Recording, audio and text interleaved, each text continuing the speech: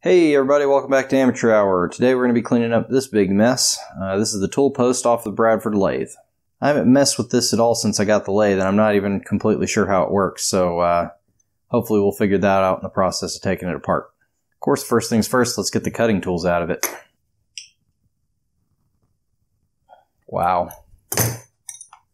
Need a bigger wrench. From the feel of it, this was probably torqued down while it was still in the carriage, so lubrication and persuasion.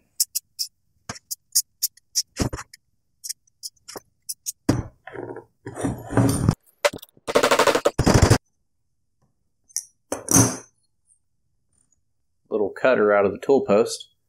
It's not in terrible shape actually, apart from the rust, but uh, it looks like maybe a piece of high-speed steel welded onto uh, a more mild blank. Same, same. Also, looks pretty good. Here's the third and last one. This one isn't doing so good. It's got a big chunk missing out of the tip. So this is going to get tedious real quick. So I'll be back with you once I get all these bolts out. I hope anybody who's following along with the lathe restoration is enjoying this filler episode. If you're a nerd like me, you may know that when anime series are waiting for the comic books to catch up, they put a bunch of filler episodes in. In my case, I'm waiting on bearings. All right, so that's all the bolts I can get out. Uh, there's a few of them that are trapped by the lever up here. Just a quick tour around this thing. We have a uh, grease zerk right there. The base of it's cast, and there's a shaft right here, and looks like a giant screw of some kind. So to keep this show on the road, I guess we'll start at the obvious place, right here at the top.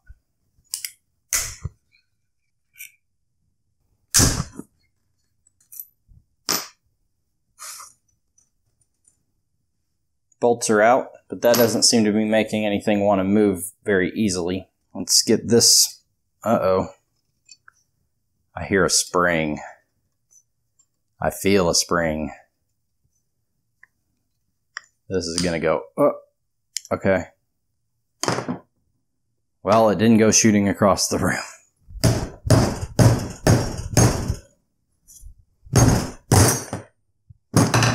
That got it. So the way this thing seems to work is, is you unlock it, and that allows you to spin the post with the tools on it to bring the tool that you want into position, and then you just close it. Pretty cool. My bet is this spring uh, is used to push on a ball that will detent into the bottom of this block so that it locks into a 90 degree position. So to get the head off, we're just going to keep spinning it on this thread. Hear it clicking.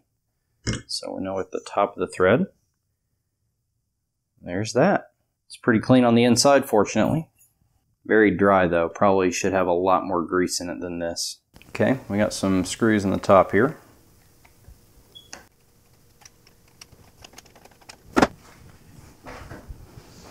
Next to the screws there are two cavities, it looks like for some kind of a wrench.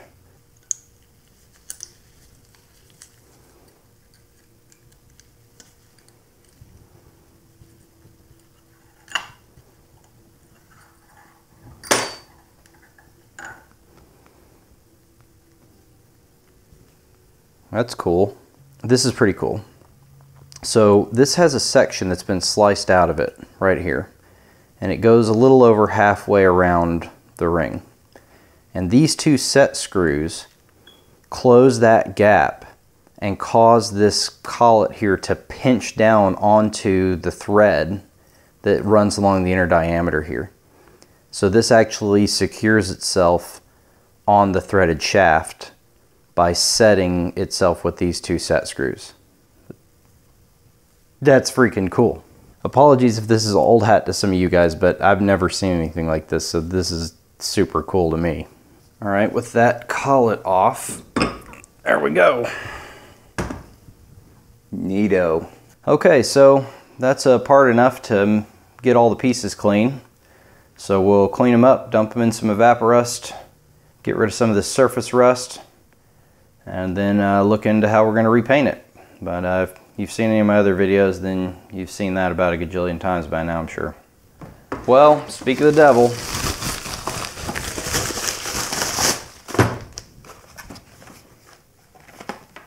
Bearings.